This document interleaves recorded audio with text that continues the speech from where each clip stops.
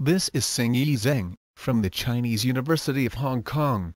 Our title is, Deep Learning of Scene-Specific Classifier for Pedestrian Detection. The performance of a detector depends much on its training data, and it will fails to work when huge variances exist between the source training data and the target scene. In order to bridge the appearance gap, we propose a deep model to automatically learn multi-scale scene-specific features and the distribution of the target scene samples without any manual labels from the target scene. Our specifically designed objective function not only incorporates the confidence scores of target training samples, but also automatically weights the importance of source training samples, by fitting the marginal distribution of target samples. At last, we also propose a cluster layer, that utilizes the scene-specific visual patterns. Welcome to our poster, 2B31, to know more details.